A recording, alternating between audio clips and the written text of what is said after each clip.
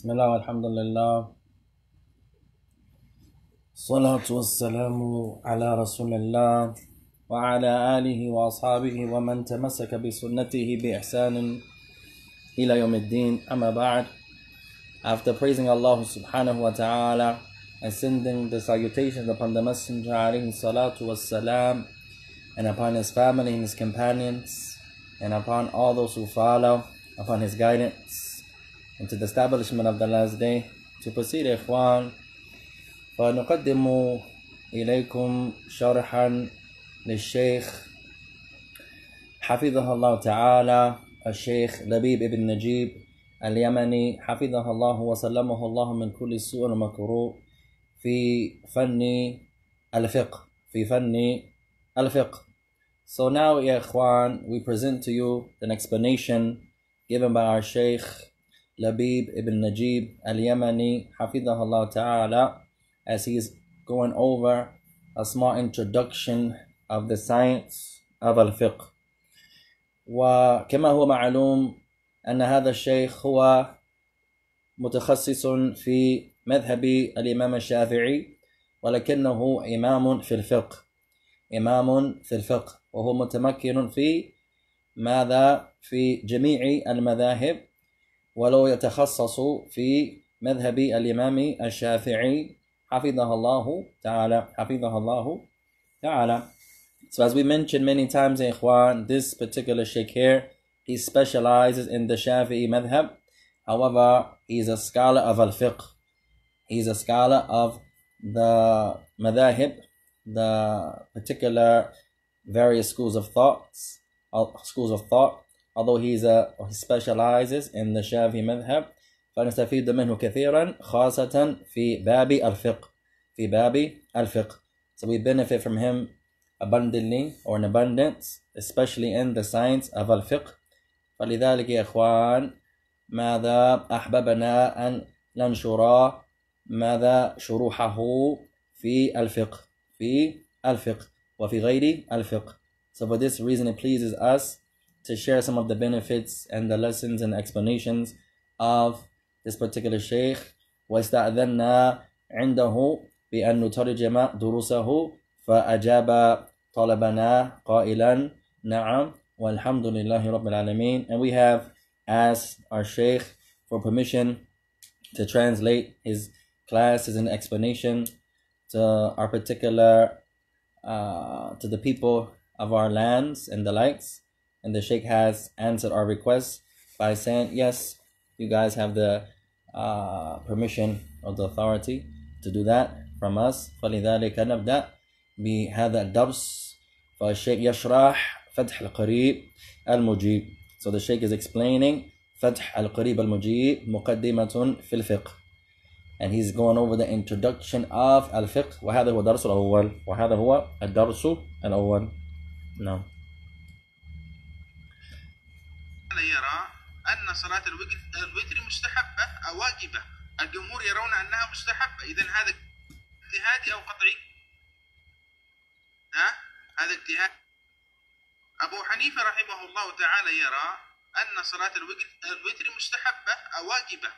So he says first, Imam Abu Hanifa rahimahullah ta'ala, he has the opinion that performing the al-witr, performing the witr is an obligation.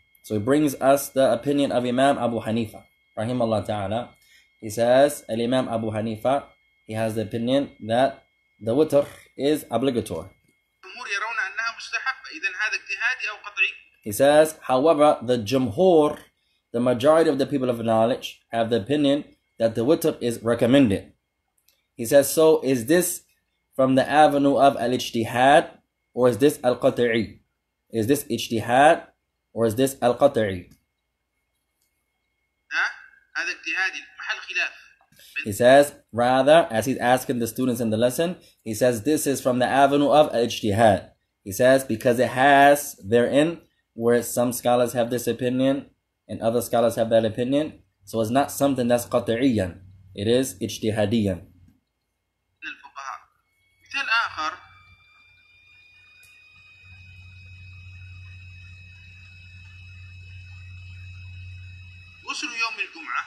He says another example that I wanted to mention is the ghusl on the day of Jumu'ah. Taking the full body bath or wash on the day of Jumu'ah. He says the majority of the ulama, they have the opinion that washing the body, a full body wash on the day of Jumu'ah is mustahab. It is recommended.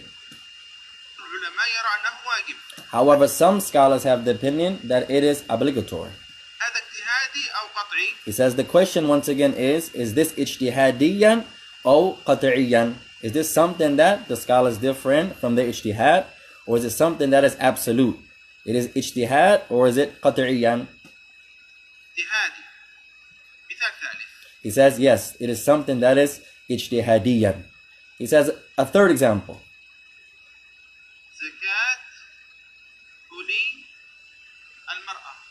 says the third example I want to pose to you is zakatu huli al mar'a is when the woman gives zakah from her her jewelry, her chains. Translators note her chains or her rings or her bracelets. When the woman gives zakat on her jewelry. المرأة إذا كان عندها حلي هل يجب عليها أن تزكي؟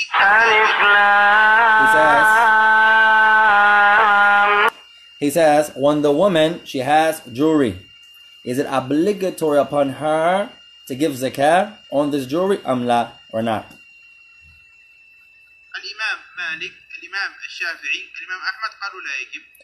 Imam Malik and Imam Ahmad and Imam Shafi'i, they have the opinion that it is not compulsory. It is not obligatory upon the woman that she gives the zakat on her jewelry.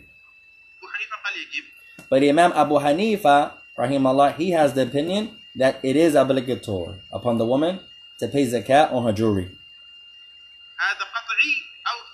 He says, is this qat'iyan or is this ijtihadiyan? Is it something that is absolute?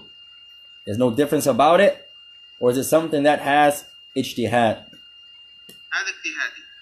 He says, this is something that is also ijtihad.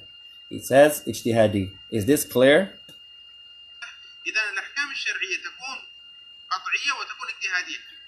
He says, so the legislations of Al-Islam, al-ahkam shari'iyya, the legislations of Al-Islam, the rulings of Al-Islam, they are comprised of that which is qat'iyan, that which is absolute, no doubt about it, and that which is ijtihadiyan, that which has some ikhtilaf, some differences of opinions. ماذا يدرس؟ So he says, the science of al-fiqh, ماذا يدرس? What is being taught? when the person studies al fiqh, what is he actually studying? He says, in the science of al fiqh, are, does fiqh teach? Are you studying the legislation that is qat'iyyan or the legislations that is ijtihadiyyan?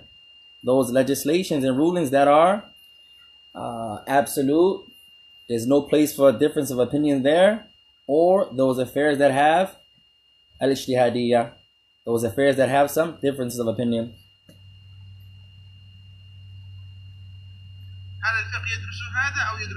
So we ask the question a second time. Does fiqh teach when the person studies fiqh? Is he studying al those affairs that are qat'iyan? That is absolute, no difference of opinion whatsoever. Or those affairs that are, you find therein, ijtihadiyya. That some scholars have this opinion, other scholars have that opinion. They differ in this regard.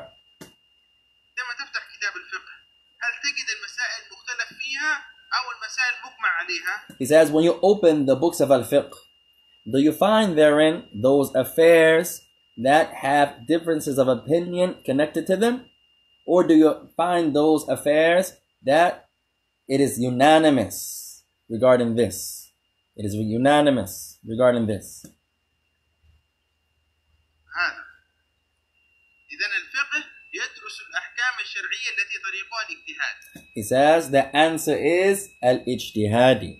That fiqh you're learning or teaches those affairs that have therein the place of differencing. That some scholars have this opinion and some scholars have this opinion. So he says al-fiqh, he says it is going over the legislations of the sharia, those legislative affairs that are practical العملية التي طريقتها الاجتهادي those affairs that are practical that are from the path or the way of الاجتهاد أما هذه المسائل لا تجدها غالبا في كتب الفقه He says, as for those affairs that are قطعيا, those affairs that are unanimous from the people of knowledge, he said, usually you do not find these affairs. You don't find them really in the books of al-fiqh.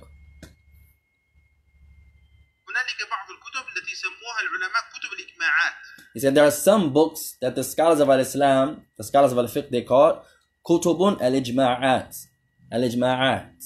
Those books that go over those affairs that are unanimous. And these books you find that they focus and concentrate on those affairs that the scholars are unanimous with regards to. كتب فقه كتب الفقه تعتني بدراسة المسائل الاجتهادية He says, but that book, those types of books here are really not books of al-fiqh. He said the books of al-fiqh are talking about those legislative affairs that are practical regarding uh, the issues of al-ijtihad. He says, is this clear? عندنا تعريف الفقه وهو معرفة الأحكام الشرعية العملية بأدلتها التفصيلية أو التي طريقها التي طريقها الاجتهاد واضح التعريف؟ He says, so now we have with us the definition of al-fiqh. The definition of al-fiqh. So he says, and we have mentioned that the definition of al-fiqh is معرفة الأحكام الشرعية العملية أدلتها التفصيلية التفصيلية So he says it is having knowledge of those legislative rulings, those practical legislative rulings, بأدلتها by their proofs التفصيلية by their detailed proofs. He said, or you can say معرفة الأحكام الشرعية العملية التي طريقتها الاجتهاد.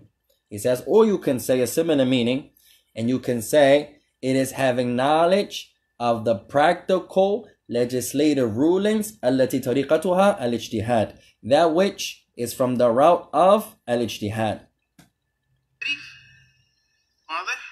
إن شاء الله He says so. This is definition. Is this clear? And you hear one of the students says, yes, ya sheikh. And he says, inshallah.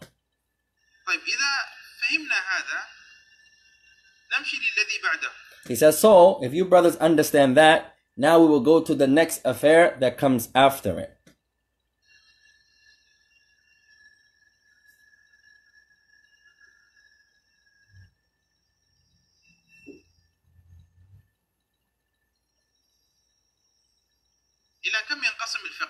He says, now the next question I pose to you is, how many categories is fiqh divided into?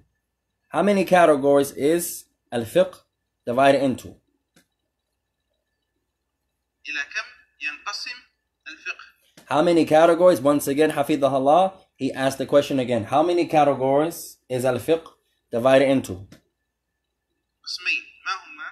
So one of the students says two categories. The sheikh says, yes, two categories. What are they? هذا الفقه الأكبر الذي هو فقه العقيدة He says, one of the students says, al-fiqh al-akbar. And the sheikh says, yes, al-fiqh al-akbar. The major fiqh, the major fiqh. And it says here the intent here is aqidah. The intent here is aqidah, the belief.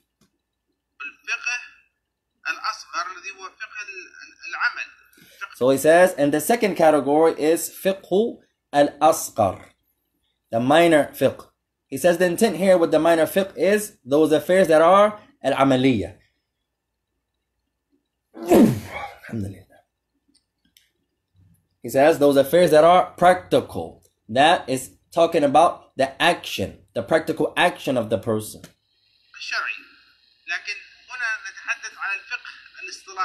He says yes, but here we're talking about He says but here we're talking about al-fiqh in the technical al-istilahi, the technical sense.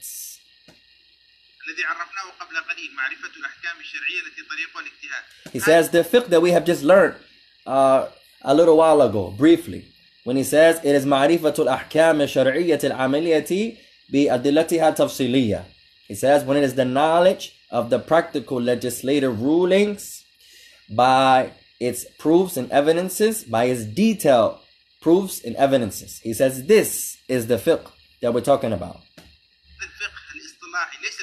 الذي هو فقه العقائد He said here we're talking about the technical fiqh. We're not talking about fiqh al-akbar, which is the intent of it is the belief. We're not talking about that. نتحدث عن الفقه الأصغر إلى كم ينقسم He says we're talking about the minor al-fiqh. How many categories here? We're not talking about the major fiqh, which is the aqidah, which is the belief.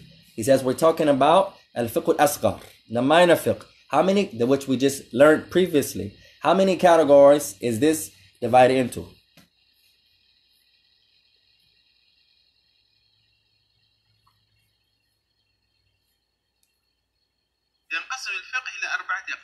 He says, Hafid Allah Ta'ala, as he was waiting on the students to answer, but it appears that no one answered. So the Sheikh, he says, Hafid Allah, that al-fiqh is divided into four parts. That al-fiqh is divided into four parts ibadat? He says, as for the first part, it is talking about al-ibadat. Al-ibadat.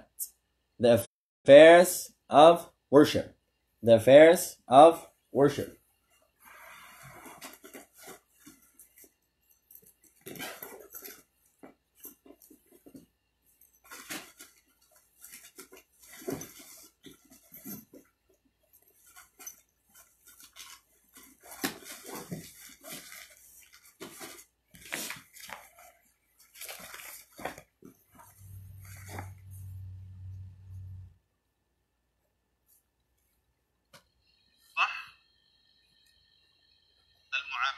المعاملات المالية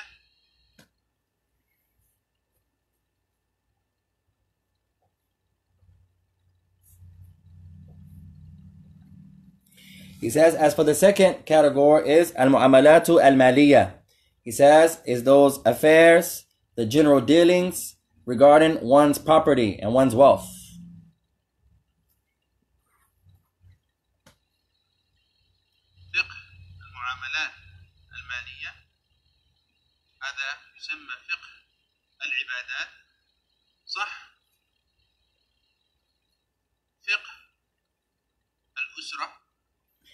He says, the second category was fiqh al-mu'amalati al-maliyah. He said is the fiqh of the dealings of one's property and one's wealth. He said, and the first one once again was fiqh al-ibadat, al-ibadat, the fiqh of worship. And he said the third was fiqh al-usra, fiqh al-usra, the fiqh of the family, regarding the family.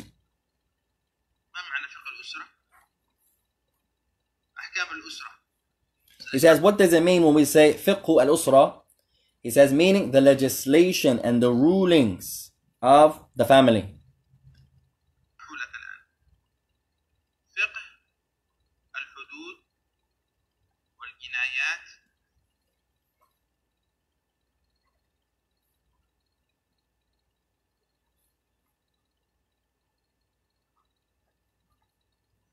He says, as for the fourth category, it is fiqh al-hudud wal-jinayat. It is the fiqh of the hudud, the, those limits that are set by Allah Ta'ala, wal-jinayat.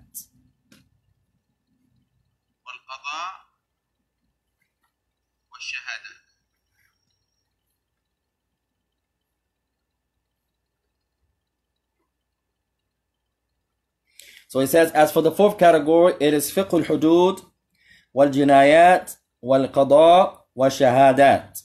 It is the fiqh of al-hudud, those boundaries and legislations, wal-jinayat, and al-qada, and al-shahadat, those testimonies.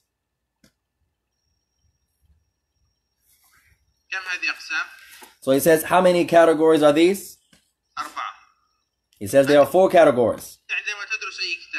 هذا كتاب فقه هذا كتاب فقه افتح الفهرس So he says, so now when you're studying any book, he says, from the books of al-fiqh, he said you go to the index or the, the table of contents. الفهرس نعم افتح بداية الفهرس He said go to the beginning of the table of contents.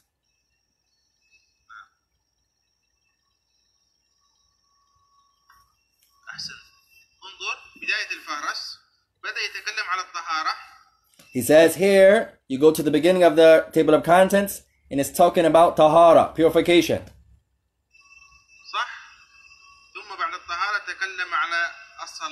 He says, and then after tahara, it talks about the prayer.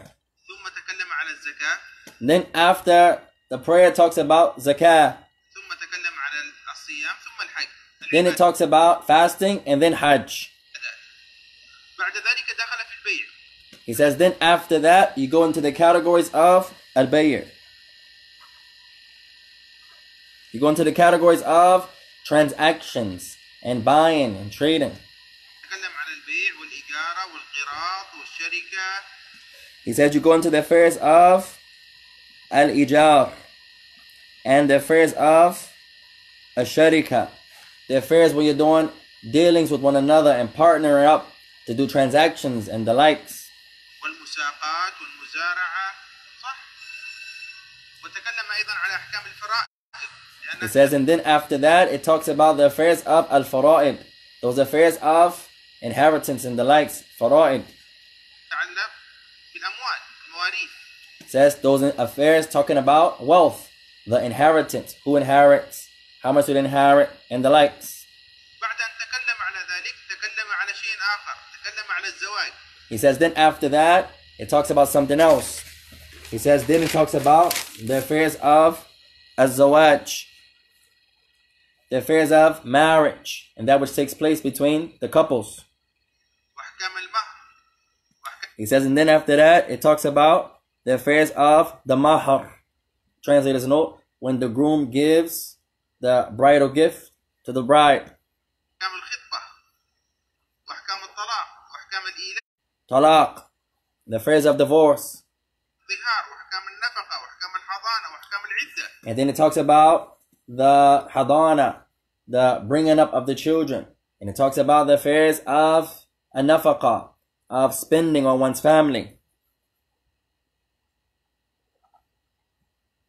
And then it talks about al-iddah, when the man divorced the wife, the waiting period that she's in, or translator's note, when the woman asks He says, and then after that, it talks about the affairs of the iddah, when the woman is in her waiting period.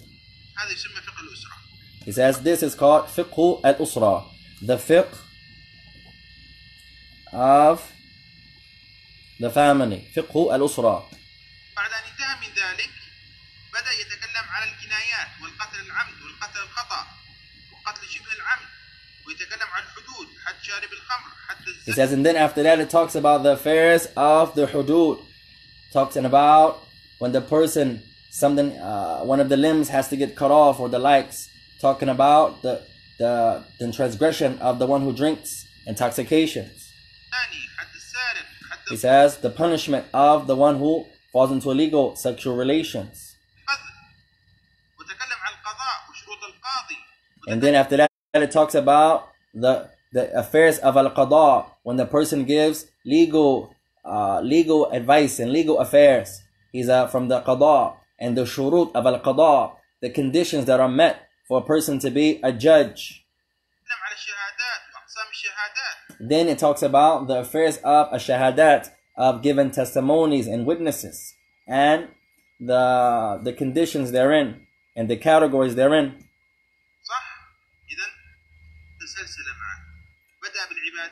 He says, is this correct? Yes. He says, then therefore it's a chain. He says, it starts with the affairs of worship. Then it goes to the affairs that are talking about the legislations or the, the general dealings of the person's wealth and those things that are connected to his wealth. Then after that, you go down the chain and it talks about the legislation of the usra, of the family.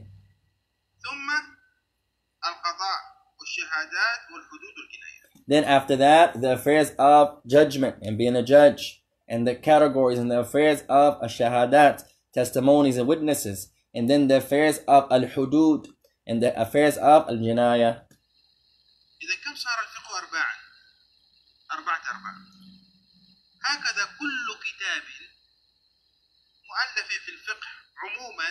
So he says, so how many categories once again? He says there are four, cat- four categories of al-fiqh. He says, and it's like that with every fiqh, every book of al-fiqh, generally, generally, umuman, generally, it has these four categories therein.